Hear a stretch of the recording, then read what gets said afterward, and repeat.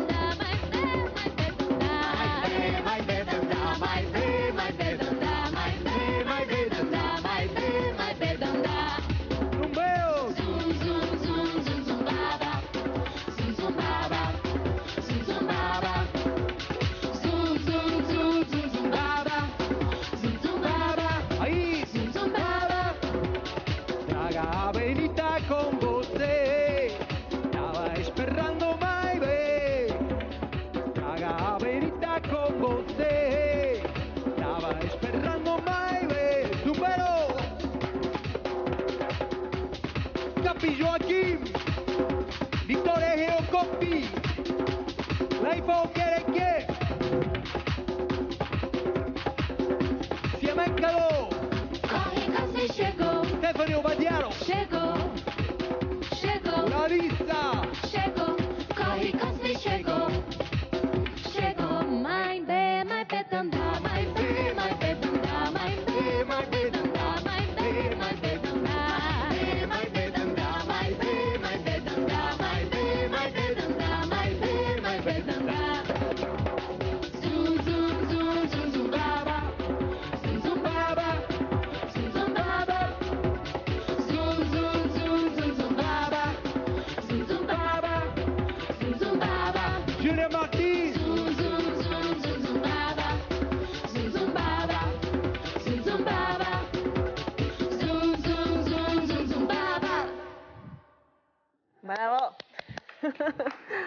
Страхотни сте.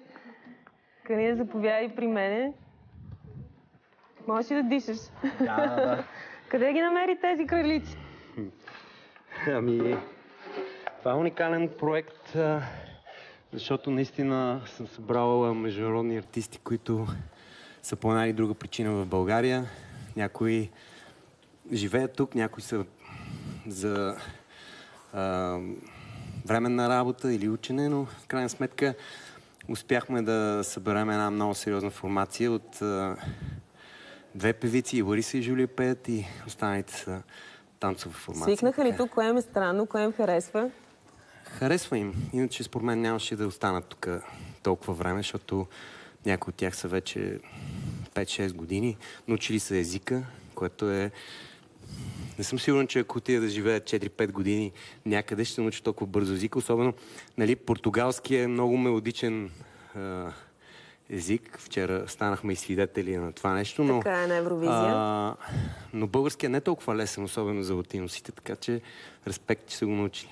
Обясни ли им, че човека с барабана, с татуировките иска да става политик? Ами, не съвсем. не съвсем. Трудно ми е. А, наистина, различни са, много различни са усещанията. Различно е да си а, с костюм, да говориш на сериозни теми и също времено да успееш да си на сцената в а, Тотално цялото друга светлина. Да, да. И сега, то забавлението го има и в парламента, и извън него. Кажи ми, какво се случи? В началото на седмицата мислиха всички, че ще бъдеш депутат. Това обаче беше ясно, че няма да стане още в а, началото след изборната обстановка. Да, според мен, според мен а, някои от журналистите публикуваха тяхна, така, тяхно виждане по разпределението на, нали, на листата, което обаче беше объркано от влизане на един човек с преференция. Въпросът е 11-11, така че в крайна сметка това нещо измества всички с едно назад. И когато беше логично а, влизането според тях, не предвиждайки тази преференция, разпространихме много И сериозно. след тези неща нямаше да може да ги правиш в парламента. да, да, да. да, което си да. има и своите... А пък и за чудесно лято, така че може би да имам отсрочка. Съжаляваш ли обаче? Разочарован ли си? Беше си подготвил реч, приключваме с обещанията, започваме да работим. Не, не съжалявам. Първо, че за мен това е начало. Аз от тук всъщност стартирам Не се отказваш, започвам. не- не абдикираш от тая- Не, аз много късно така влезнах в а, а, тази надпревара а, покрай изборите. Последните месеци и половина всъщност, така че нормално нямах чак толкова много време да се разпространя, но това е, това е наистина Как началото. продължаваш? Какво ще правиш? Тая цялата енергия, която акумулира покрай изборите, как ще я... Едно от нещата, какво едно от нещата а, което стартирахме още преди 4 години и набира постепенно скорост е Българска музикална асоциация, която е организация с цел да обедини артисти, изпълнителите, музикантите а, и да помага за подобряване на средата. Ти, културата ти живеем. е много, много важна тема на теб. Това Да, щеше да бъде и да. нещо, с което щеше да се ангажираш Да. най-много в парламента. Да, С лидера на ГЕРБ обаче, чули се, видяли се, имате ли някакви общи планове? А, да, чухме се и преди, и след изборите и, както казах, нещата от тук нататък стартират, така че ние сме в, в връзка и смятам, че а, ще остана в а, това обкръжение и в, а, в тази среда и в тази посока.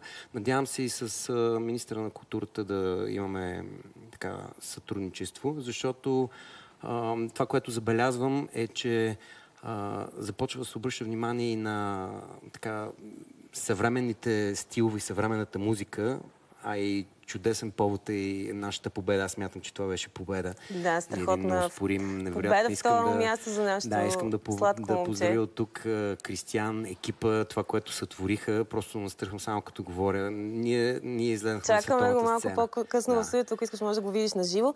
Кажи ми обаче, а, така няколко пъти си споделял, че кмета Фандъкова те е запалила по ГЕРБ.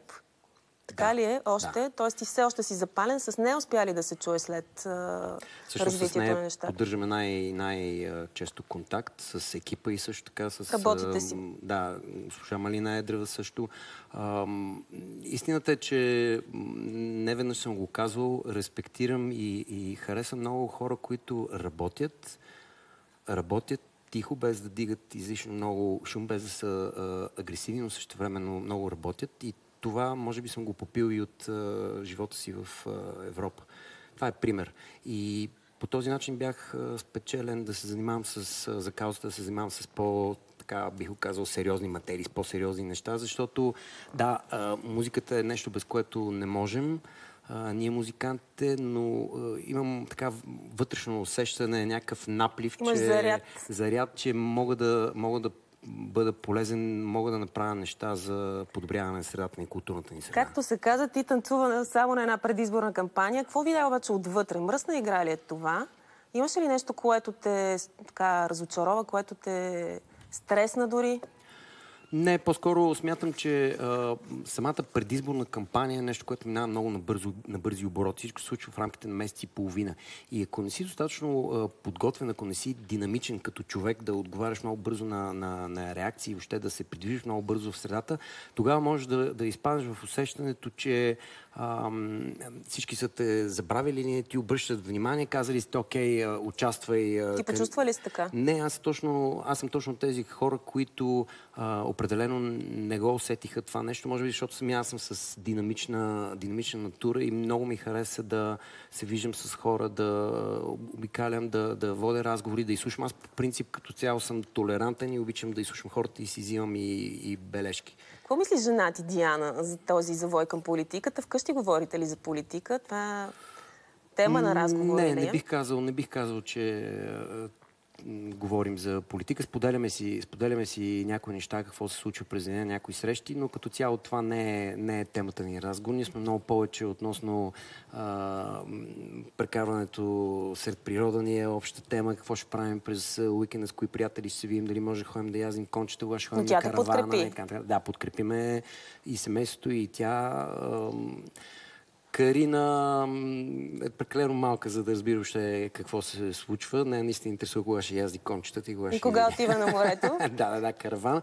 И като излезем сутрин, сега като се разхубави времето като по-топичко, тата мирише ми на каравана, каквото и Да, както казах, каз, очаквате поне едно спокойно лято. Дълго. Подготвяте ли надявам се. караваната? Готова ли е? Да, подготвяме. Юли месец ще сме повече по морето. Има участия, които а, приближават с а, латиногрупата Тумбайто. Имаме на 6 юни много готин концерт с една а, българска естрадна прима от 60-те години Мими Николова, с която ще изпълним златни хитове от а, 60-те и 70-те. Тук в София ще е концерта.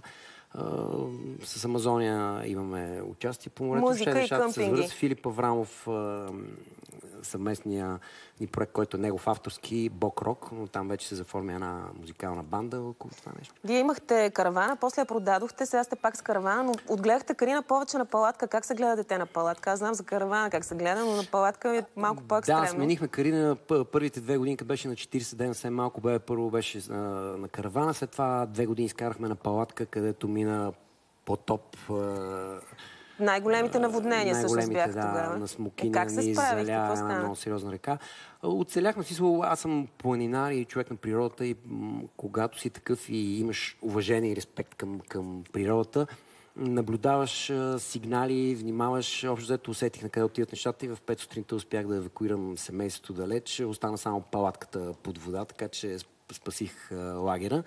Но без никакви проблеми отглеждам и всъщност мисля, че децата, които са израснали по а, къмпинзи на палатка, на каравана, на планина, са много щастливи, тичат, играят си, изключително доволни. И факт е, че Карина всеки ден пита за морето и каравана. Диана трябва да е много бойна, за да успее в най-трудните години, две години да издържи на палатка. Да, но искам да, ви кажа, че, искам да ви кажа, че днешно време не е чак толкова сложно, колкото съм чувал разказите от а, майка ми, нашите лели баби, как са ни гледали. В крайна краща имаме мобилна пералня, която пътува с нас малка. Палатката е с две спални, хол, огромна палатка. В смисъл, имаме такива облегчения в днешно време, че не, не е чак толкова сложно. Това дали ще отгледаш детето си в Созопол или си на 2 км от Созопол на пясъка, почти си, няма голяма разлика. Приспособява се към условията и за човек, който обича такъв номадски живот, според мен е много готин. Ти ли запали Диана или по-скоро тя си беше такава? Тя си беше така, ние се запознахме всъщност на къмпинга там. Да, знам, че морето, да. детето по време на път е заченато. Почти.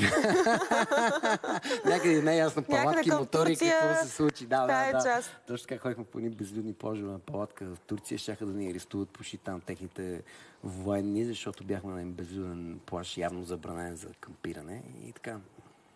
Да, добре. Еми, очаквате още едно готино, весело лято. Пожелавам ти да изкара страхотно и на проектите ти успех. Благодаря много и на зрителите на нова, едно хубаво топло лято, заредено с положителни емоции. Добре, много благодаря. Останете с нас и след рекламите.